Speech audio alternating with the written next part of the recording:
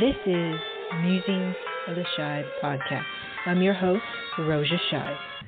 Hiroja Shibe here with another episode. This is episode 134. Low rider.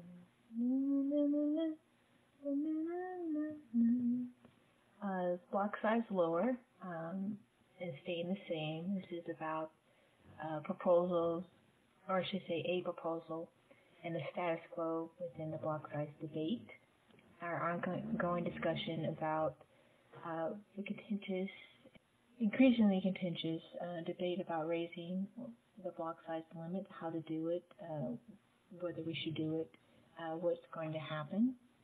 Um, on this episode, we're going to discuss a proposal by one of the uh, Bitcoin core developers, Luke Jr., in about a number of people that have stated that we perhaps should stay at the one megabyte size and not increase it. Um, some are saying at all, and some are saying just not at this time. But before we get into that discussion, uh, the news. This comes from Cointelegraph by William uh, Suberg. We plan to open 5,000 Bitcoin ATMs in Europe in 2017. Bitlish. Uh, Bitcoin ATM provider Bitlish was the first to open a bona fide BTM in Russia, but its expansion plans are likely to get the market talking. Despite the growing presence of BTMs in Europe, usage is still limited. Not in inconsiderable fees as well as a lack of general consumer understanding mean that online options remain the go-to source for both novice and experienced traders to exchange crypto for fiat and vice versa. UK-based British Dust, a surprise surprised when one of the brand machines opened in Russia's second city, St. Petersburg, closely followed by another. Both were a result of a decision by the company's local partner, who gained an opportunity to open the, there rather than the capital, Moscow. This year is set to see much more from Bitlish with an eye-opening 5,000 machines with an eye-opening 5,000 machines planned Europe-wide in 2017 alone. Currently, fewer than 200 machines are listed as operational on Bitcoin ATM Finder Coin ATM radar. The country with the most machines is UK with 68. And then an article has an interview here. So, St. Peter's Open Russia. Uh, in the interview with Cointelegraph, Bitlish Max Gerner discussed more details about the plans and, and about what and what the future has in store. What made you choose St. Petersburg as the first Russian location for a machine? Uh, Max Games. We have several ATM partners across the world, and we do not install ATMs by ourselves. It's up to our partners to decide what spot to be used. Our first partner in Russia had an opportunity to open up in this location in St. Petersburg, and it was his sole decision. South Russia next target. Are you planning to add others in South St. Petersburg and or elsewhere? Yes, we plan to expand through our partner network across Russia and Europe. We look forward to connecting up to 300 ATMs in CIS Commonwealth of Independent States at 5,000 in Europe this year. We also spread into the south of Russia in the coming months. Are you confident about the future legislative environment in Russia concerning Bitcoin and altcoins? We believe Russia should soon provide a legislative framework enabling businesses and people to trade in the legal, acceptable form, leaving the cryptocurrencies out of the gray area as it used to happen in Russia. We consider the kiosk a step forward to achieving this goal. Uh, Europe is priority. To what extent do regulatory shifts impact on ATM operators? There's a direct impact. Establishing a clear regulatory regime should boost kiosk business. The sector is quite a developed one in Russia. We recommend our partners to fulfill the existing requirements as cryptocurrencies were regulated as an incumbent pay system. Where, you, where are you currently planning to sell and provide services outside of Russia? We are not oriented to Russia only and already have some partners in the United States, and Latin America, but Europe is going to be our priority. We accept orders for ATMs with a very competitive price of uh, 1,200 euro per unit. If so, are you looking for current uh, country representatives? Yes, as our business model in the kiosk area relies on authorized partners, we can probably have a country representative responsible for business development in the concrete uh, region. Uh, anyone interested can apply for that through our website, and we check on all initiatives. So, Bitcoin ATMs coming to Europe soon. And that is it for Bitcoin news. On to the topic at hand, which is lowering the block size rate or the status quo, keeping everything at one megabyte. First, so first with the lowering of the block size. This article comes from um, CoinDesk. Why bigger might not be better for Bitcoin scaling by Corin Theos, and this came out February of this year. The block size debate, long, the long one of the defining challenges hanging over the Bitcoin tech community, took an interesting twist last month. A year-long discussion about how best to scale the function, functioning $15 billion economic uh, network mid-flight. The debate has large, largely been characterized by a face-off between those who want to increase the 1 mega block size via an efficient improvement, efficiency improvement called SegWit, and those who want to change the hard-coded block size limit to 2 megabytes or more. You notice that so far neither side has called for a block size decrease. But that's exactly the viewpoint in the Bitcoin improvement proposal submitted to the Bitcoin Dev mailing list by Bitcoin core developer Luke Dash Jr. in the message titled Three Hard Fork Related BIPs. Specifically, Dash proposed suggesting a temporary block size reduction to 30 gigabytes, depending on the date that the BIP was activated, slowly rising and yearly increase to a limit of 30, 31 megabytes in 2045. The timing of the proposal released on uh, January 27th came just days after the huge increase in transactions backlog saw unconfirmed transactions spike to over 60,000 K before returning to lower levels. In a more detailed proposal, Dash Jr. cited the amount of disk space demanded by the blockchain, currently around 100 gigabytes, as a significant incentive for anyone wanting to run a node, hardware that stores the full ledger history. Dash writes, "The regular occurrence to see new, new users complain about the time to set up a node, and established members of the community recommend downgrading to non-full wallet software, which results in a new user gaining Bitcoin as a currency but not the security of Bitcoin itself, and compromising the integrity of the network as a whole by widespread usage. The remarks are not surprising as the viability of a Bitcoin node network has emerged as one of the more prominent political footballs in the debate. Without a vibrant node network, developers fear, fear that the operation of Bitcoin ledgers will fall into the hands of a few big operators and thus defeating the purpose of a decentralized payment network. Cool reception.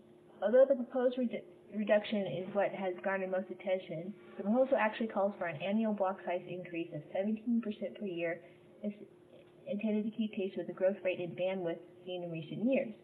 But critics of the ensuing discussion suggest that this figure is overly conservative and that it does not account for the nonlinear pace of technology change, especially when projected into the future.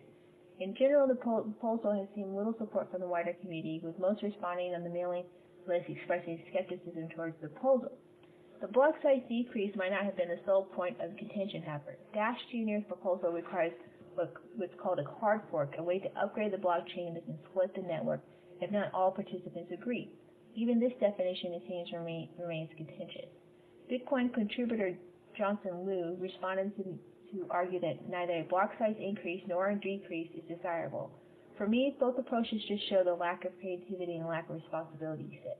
He further expressed the common view that a hard fork would be too dangerous right now, adding the one megabyte here, no matter no matter you like it or not, is the current consensus. Any attempt to change the limit up or down requires a wide consensus of the whole community, which might be difficult. That might why the modified version of the proposal, which removed the block size decrease released on February 5th, developed by Andrew Chow, failed to generate enthusiasm from list members. Some support. Discussions discussing this proposal and the response with CoinDesk Dash Jr. cited a Twitter poll that showed 20% support for a block size decrease, far from a majority by a large enough number to merit serious consideration. However, he also pointed out the difficulty of moving forward, forward with modifications to the network when a supermajority of hashing power is required to accept them. He said many seem to think that think seven years before the increase began was too far out. A poll showed the majority prefer it sooner, but that some polls show that 10% oppose any hard fork that increases the block size limit ever, which basically kills any chance of such a proposal gaining consensus. In light of the community response, Dash Jr. said that he did not intend to develop the BIP draft any further at the present time and would not be pursuing it to the point of receiving an official proposal number. If there really is a 20% support for the, reduction in the block size, though some of Dash Jr.'s ideas may still reemerge through other channels in the future. The with no BIP signed to it, but uh, the initial proposal is consensus.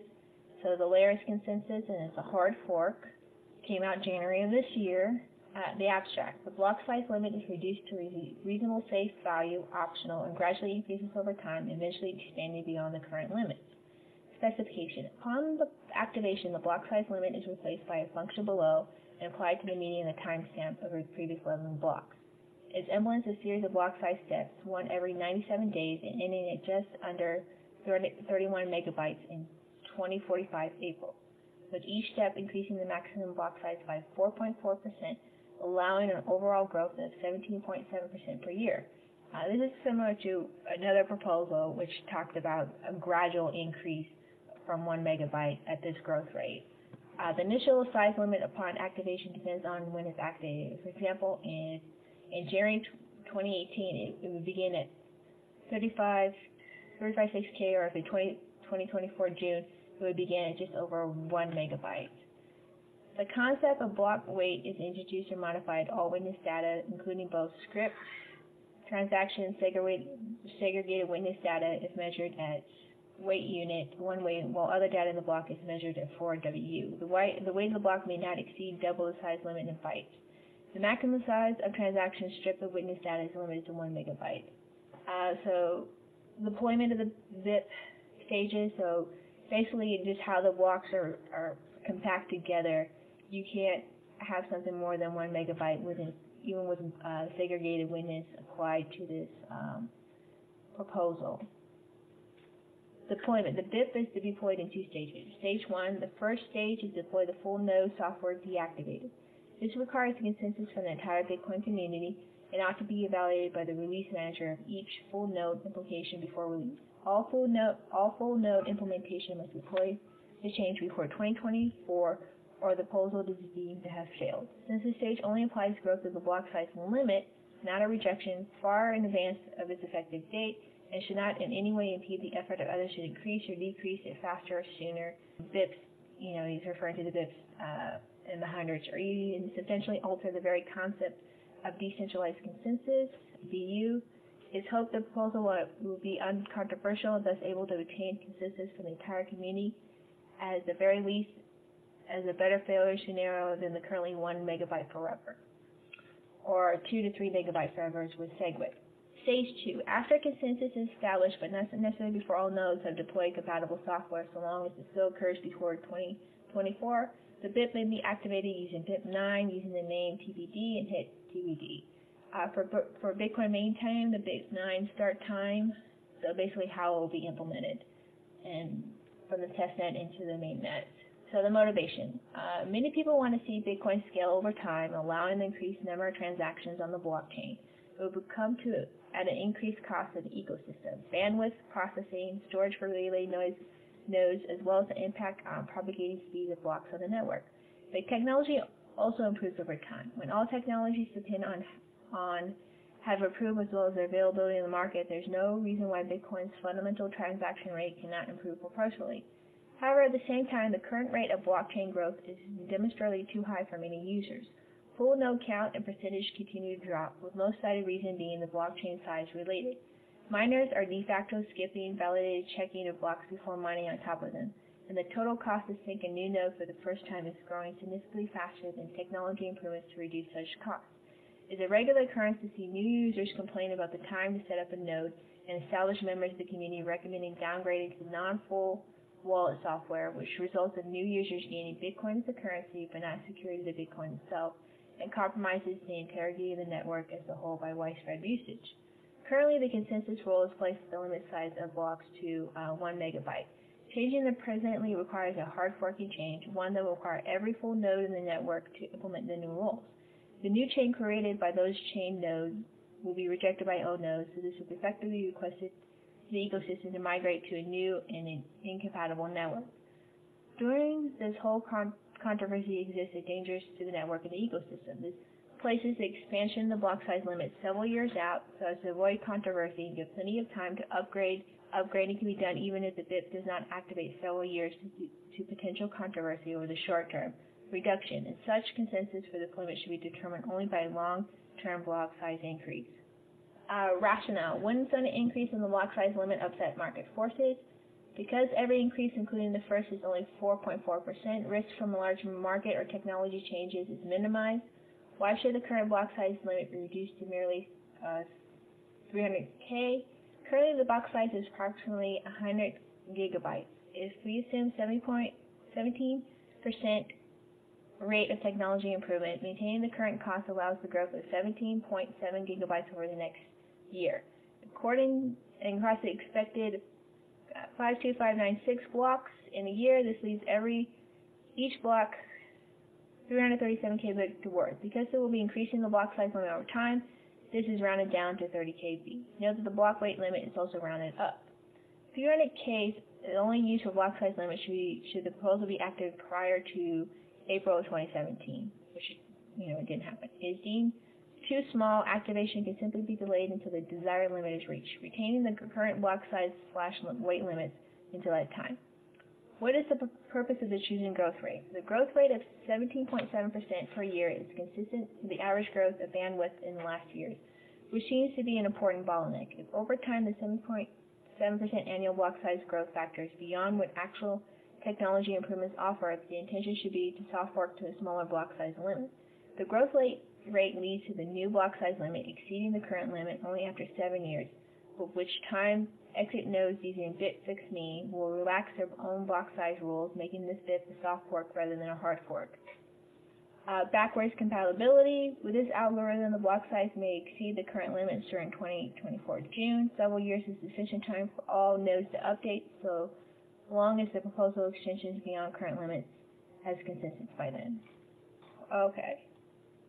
So we'll get into it a second after we read the Merkle article here. So this is by uh, Mark. New BIP propose, proposes a block size decrease. Yes, you heard right. Luke Dash Jr., a Bitcoin Core developer, has issued a new BIP earlier today suggesting Bitcoin decreases block size limit to a third of what it currently is. This BIP proposes a hard fork in which, which case the Bitcoin block size limit would be reduced to 30 kilobytes. I mean, 30, but 300 kilobytes. Uh, the first thought that may come to your head is that the proposal is pure insanity. Why would we want to decrease the Bitcoin's block size any further when blocks are already full and users have to wait over 10 hours for their transactions to confirm, unless of course they use a hefty mining fee? However, this proposal focuses on a different issue that is looming for Bitcoin users and node operators. The current size of Bitcoin blockchain is approaching 100 gigabytes, assuming the average person has a, at least one terabyte hard drive. In order to run a Bitcoin core, one would have to dedicate roughly 10% of their hard drive space. The huge size of the blockchain and the amount of time it takes to set up a Bitcoin node is a main, main deterrent for users who are looking to get more involved with cryptocurrency. When one starts up a Bitcoin core for the first time, it sees it will take a week or longer to download the blockchain. Bitcoin seems very unattractive. For example, if you take a look at Bitcoin's Reddit community, you'll see that they have over 200,000 readers. However, there's only around 5,000 nodes currently operating in the Bitcoin ecosystem. Using that data, we can estimate that less than 2.5% of Bitcoin users running a Bitcoin node. That statistic is quite discomforting. Furthermore, Bitcoin nodes require a substantial amount of bandwidth in order to operate. It's only understandable that many users don't want to sacrifice their internet speeds for the blockchain. The benefits of running a Bitcoin node. There are many benefits to running your own Bitcoin node. Running a node provides you with a complete trustless as having your own copy of the ledger that you validate, meaning you don't need to trust a third party. Furthermore, by receiving and sending transactions from your own node, nobody has the power to stop your transactions or refuse to relay them, granting you censorship resistance and permissionlessness. Moreover, an individual node creates privacy. If you use a third-party site to check the balance of your address, the site can de-anonymize you by linking your IP address to the query. A node can also provide you with improved performance it is much, much faster to query a blockchain through the network versus using a third-party site.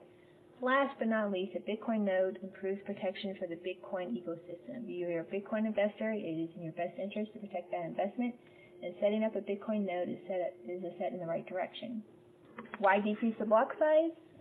We're going to talk about nodes and hardware and bandwidth because that is one of the another contentious part besides the the uh, the heart of the matter of just raising the the block size limit. Um, as with this proposal stated, not everyone is running a full node. They're not willing to sacrifice their internet speeds. They're not willing to sacrifice their hard drives for the purpose of Bitcoin. And if you're into other cryptocurrencies, then you would have to run a node for you know every single crypto, and not everyone has the space, the time, or the means to do so. So that is a legitimate contentious, you know, point that raising the block size is going to either price out or push out people that can't have the complete and full unfettered access of Bitcoin. But at the same time, you know, bandwidth, speed, and hard drive space and all that has um, increased over time, and there's people running Raspberry Pis as full nodes. So there's a give and take with with both of um, these things, where some saying that it can and is possibly done, and it's not as big of a sacrifice as people are, are proposing. And there, and then, then then there's the reality where, in some cases, it is. If you look at other nations outside of the, you know, the Western sphere, you know, running a 100 gigabyte system is, or program, I should say, is is a lot. This brings us to our next question: Why should we decrease the block size? The answer is simple. Luke believes that the current rate of blockchain growth is demonstrated too high for many users, meaning for the average person, the bandwidth and the storage provided today is not high enough to justify running a node. In other words, when the average Joe first finds out about Bitcoin and downloads the original Bitcoin client, he realizes it takes way too long to sync the blockchain. After consulting with users on Reddit, Bitcoin Talk, and everyone points Joe to use a light wallet, such as a Electrum or Multibit. Doing so, Joe loses the security that Bitcoin provides, thereby, thereby compromising the integrity of the network. It is important for new users to be able to seamlessly start using Bitcoin the way it was intended by Satoshi.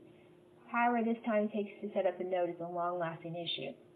While I do think that's important, if Bitcoin was to become a cashless system, by that principle, then there wouldn't be mobile wallets because they're not running full nodes. Many of them are, you know, third-party apps. There's that factor too. This is why Luke Dash Jr. proposes we scale Bitcoin back a bit in order to let the true potential shine. It's, it's like saying it goes uh, one step back, two steps forward. By reducing Bitcoin's block size, the rate at which the blockchain grows will slow down dramatically. This allows current technology to catch up to the point where it takes an hour to sync 100 gigabyte blockchain rather than week, uh, using the average growth of bandwidth. The last years, uh, Luke assembled the 70.7. Okay, so we're kind of covered this. Uh, what makes this proposal so attractive is the fact that it can be tested with no obligation prior to activation. Miners can simply limit blocks to 30k kilobytes with no strings attached. Such a change does not require a hard fork, as it's simply setting a further limit to the amount of data that can be packed into the block. This allows miners to be you back out of this BIP if they find it causes problems, making it the first block size solution allowing a test drive. Could this proposal be implemented? Limiting the block size further will create even higher transaction fees for users, so great benefit for the miners.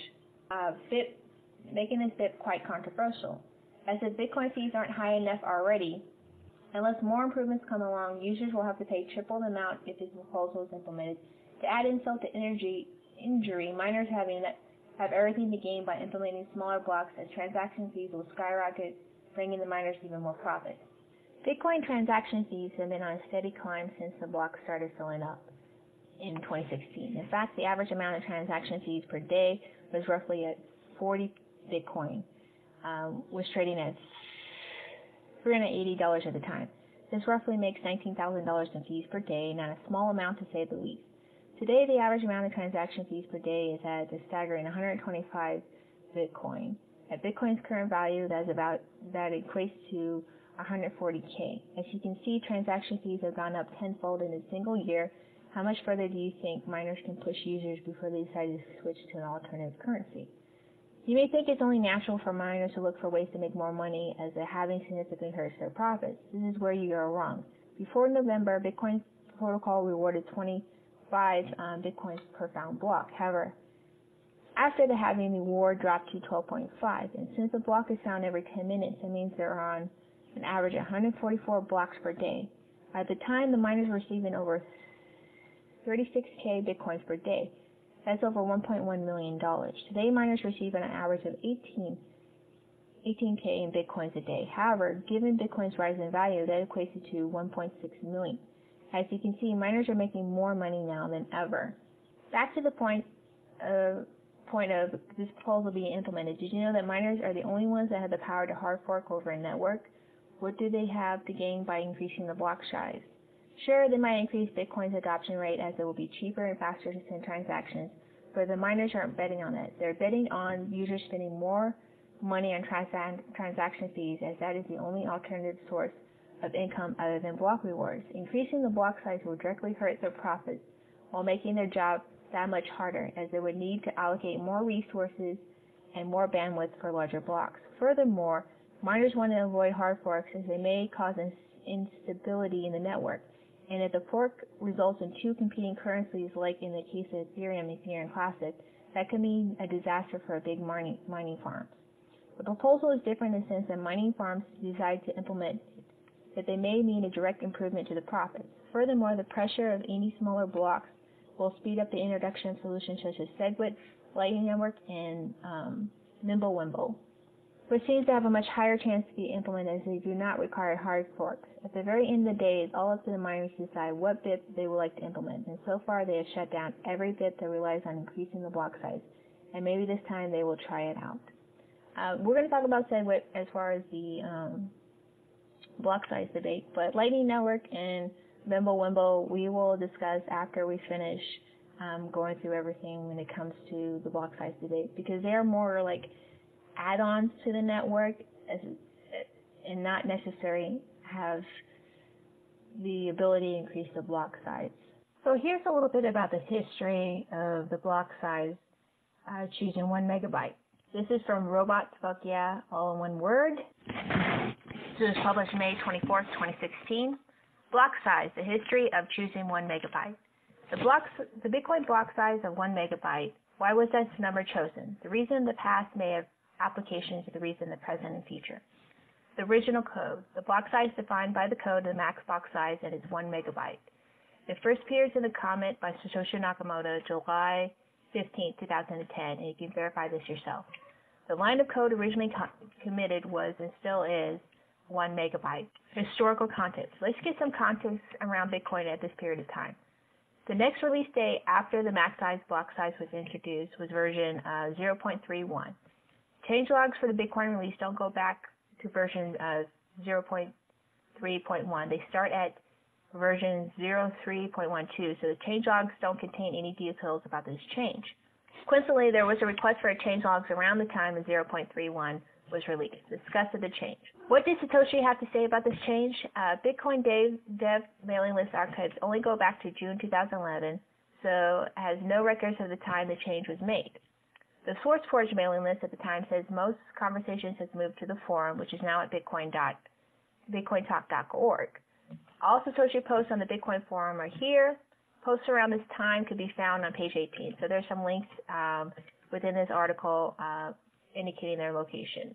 Searching on the posts that Satoshi performed on a locally cached version of these posts since the web search is extremely strictly rate limited. One megabyte, nothing. One meg, nothing. Max box size, nothing relevant. Spam. The dust spam limit is the first try at intentionally trying to prevent overly small micropayments like that. August 4th, 2010. Uh, block size. Uh, these are the things that uh, Satoshi wrote. Uh, we can phase in the change later if we get closer to needing it. Uh, that was done October 3rd, 2010 bandwidth. Whatever size micropayments you need will eventually be practical. I think in five or ten years, the bandwidth and storage will seem trivial. August 5, 2010. Block data. It would be nice to keep the block data files small as long as we can. The eventual solution will not will be not to care how long big how big it gets. But for now, while it's still small, it's nice to keep it small so new users can get going faster. When I eventually implement client only mode, that won't matter much anymore, and that was August 11, 2010. Conclusion. There's no discussion around how the max block size change was decided or how the 1 megabyte value was derived. Spam management was only considered by setting the minimum output amount called dust, not by using the max block size. Even though spam control was almost certainly the intent behind this change, it never actually stated anywhere. Considering how important this issue has recently become in Bitcoin, it seems unusual to ignore the history and instead dogmatically claim the original magic number is the best number. I can't, I don't care whether one megabyte or isn't the best number to pick. To argue the magic number picking is given the best solution and should be retained is not an acceptable position to hold. Science and engineering should be applied to arrive at an approximate at an appropriate max block size that meets the goals and objectives of the Bitcoin project. Maybe this science will conclude that one megabyte is indeed the best number to use right now, but I find hard to believe that maybe 999 kilobytes is better.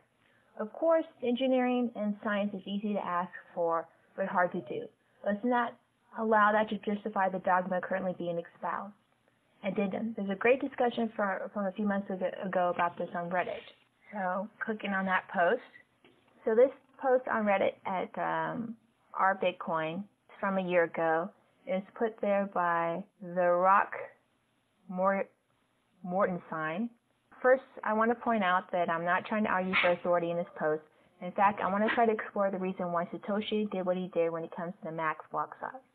The circuit breaker and Satoshi are why the One Ring was forged and how to destroy it, part one, uh, is the title of the post.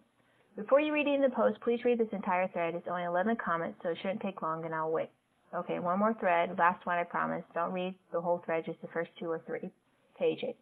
Okay, these are the chronicle orders September 7th through September September 7th, 2010, September 29th, 2010, October 3rd, 2010.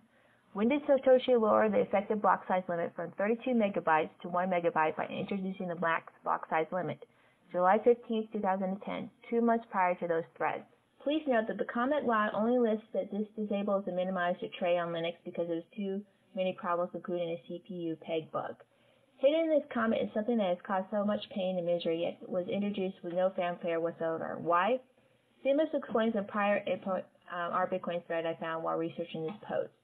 So Satoshi never used IRC and rarely explained his motivations for anything. In this case, he kept the change secret and told people who discovered it to keep it quiet until it was over, so, so that the controversy or attackers wouldn't cause havoc with the ongoing rule change. Why would someone that was developing open source innocent? The only few reasons it makes sense sabotage. Unlike it, this was Satoshi's own project or security, uh, very likely. There's been a few other times that I know of where devs have kept things quiet until after a fix was published. One example is BIP66 fixed a problem that could have caused a hard fork if deliberately triggered. Uh, SPA did not disclose the bug to the public until after BIP66 enforcement was in place. So why was it so important that Satoshi get this into the code without there being a public debate on it? And I would post it for very for similar reasons.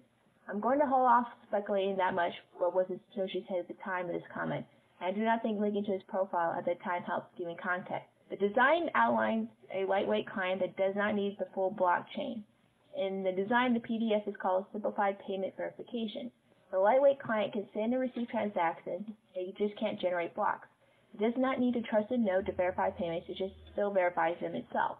The lightweight client is not implemented yet, but the plan is to implement it when it's needed. For now, everyone just runs a full node, network node. I anticipate there will never be more than 100k nodes, probably less. It, was, it will reach an equilibrium where it's not worth it for more nodes to join in. The rest will be lightweight clients, which could be millions. In equilibrium size, many nodes will, will be server farms with one or two network nodes that feed the rest of the farms over in LAN. This particular comment was July 14, 2010, day before the max block size comment. Interestingly, he also discussed the runaway CPU fix in the next comment, July 16th. Okay, the undocumented switch minimized to tray, which reestablished the option. I uploaded the change to SVN. To further complicate things, the slash dotting analogs in the Reddit Hug of Death occurred on July 11, 2010 to summarize. Slash dotting, comment July 11, 2010. Comment about never be more than 100k nodes, possibly less, equals July 14, 2010. Forging the one wing, and I mean max block size comment equals July 15, 2010. Uh, J. Uh, Garzik's first thread, September 7, 2010. Same person, second thread equals September 29, 2010. Same person, third thread tries to destroy it with the ring with the axe, and I mean remove max box size from the note from the code uh, October 3, 2010. The journey through Mordor or how to destroy the one ring. I'll be hoping to make another post in a few days that will be a little bit more expository and speculative. I like to make an aside here. To, to me, transaction spams is a DOS attack on the Bitcoin network even if unsuccessful or unintentional, much like Reddit hug of death. Satoshi spent a lot of time, especially after the slash dotting, trying to plug DOS vectors. In fact, his last public comment was talking about how many DOS vectors still exist. Funny thing is, we aren't, we aren't finished. Uh, SIGOPS exhaustion and the quadratic verification times for high input transactions still exist. I'm sure there's many more. Um, and then he, the commenter thanks for the, the tips. So let's go to his second part, if you will. So let's see, did he ever publish a part? It looks like that's not the case. From the very beginning, when Bitcoin was established, the consensus was 32 megabytes, and then it was downgraded to 1 megabyte to address spam and network issues. And it was just done in a, I guess, a, a, sneaky, a sneaky manner where it wasn't really announced, and so there wasn't debate. And it's been that way since. So from 2010 till now, it's it's been one megabyte, and for most people, that's always been the case. So here's an article about uh, why the block size limit keeps Bitcoin free and decentralized. And this is one of the um, arguments for keeping it at one megabyte or even lowering it, as uh, Luke uh, Luke Jr. had proposed, but never officially made into a BIP. Uh, we use coins is the name of the article or the place of the article. Uh, the block size limit is what ensures everyone can participate in Bitcoin network and ensures everyone can participate anonymously should they choose to. Some people want to remove this protection to make Bitcoin scale, but we but can we have the best of both worlds? High transaction volumes and true decentralization with off-chain transactions. Transcripts. Uh, we all know that Bitcoin is a secure, inflation-proof, decentralized currency. You make a transaction, it gets published to the global Bitcoin network.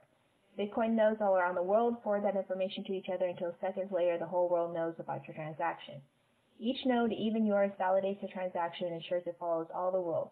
Bitcoin has a built-in limit for 1 megabyte of data per block or, or 7 transactions per second. The transaction goes out to the one block, one blockchain. As you know, Bitcoin has become very popular and unfortunately supply and demand will cause fees to increase over time, which means small value transactions just won't be practical. Easy thing to do was to have everyone change their software to accept bigger blocks all at once. Fees would go down, but you would need an expensive data center to run a node, and you won't be able to do it anonymously. Mining pools will be forced to close due to rising costs and regulations. What left are large, powerful, and regulated pools controlling what transactions happen at all. And that doesn't look like a bank today that this is not the Bitcoin we know and love. We have an alternative for increasing the block size off-chain transactions. The block size stays the same, and mining stays decentralized. We still use the blockchain for large transactions, and small exchanges will be will be handled by payment processors, which means small purchases like your morning coffee don't clog the whole system up. We can use the very same cryptograph. Um, can use the very same cryptography that makes Bitcoin secure to audit off-chain payment systems, as well as effectively make it impossible to get away with fraud or theft. Imagine a plexiglass bank where you can easily observe the inner workings. Unlike the complete block, uh, public blockchain where you can't pick up pick who mines your transactions or who can you trust the validation off-chain transactions can be both instant, truly private, and you can have complete control over who to trust. What you can do to keep Bitcoin decentralized. If you're a miner, only mine at pools to support the block size limit and ask your pool to publicly say so. If you're a user, nor anyone trying to change the Bitcoin software you use to increase the one megabyte block size, and tell people you transact with that you support keeping Bitcoin decentralized and out of the hands of existing corporate systems. Remember, Bitcoin is democratic, and the only way the block size can change is if we agree to let that happen. And this was written on May 16, 2013. So really like a very, very long time ago. So that, that basically boils down. There's a couple more articles. Um, I have a links in the show notes of why people want to keep it uh, one megabyte and keep it the same. And basically what it is, is the status quo, status quo is consensus. And so you have a lot of people arguing that because they want to keep it decentralized. They don't want the centralization of nodes because of bandwidth issues, or because of hardware, because of people not being able to implement the Bitcoin protocol because they're not able to run the node because it takes a week to download uh, the Bitcoin core. You have the issue of potentially what has happened with mining where you have nodes that are mining farms. That increases the ca- capacity for centralization, for regulation to happen, and then you can have things like transactions not certain types of transactions not being propagated, and even for miners it become more difficult because uh, they're going to have to upgrade, change their hardware, do all that, and their capacity to make money will not be as much as with the lower blockchain and with the higher fee. Uh, so these these are the different issues and, and qualms with raising the block size. Uh, lowering it would, you know, potentially keep the system decentralized, but it will significantly raise the fee. And this is why we're having these discussions and issues. Is it, really comes down to what it is you're seeking from Bitcoin itself and cryptocurrency. Uh, but that is for another episode when, in which we talk about the way to Bitcoin, you know, how people Bitcoin. Is it a, a value settlement or is it digital cash?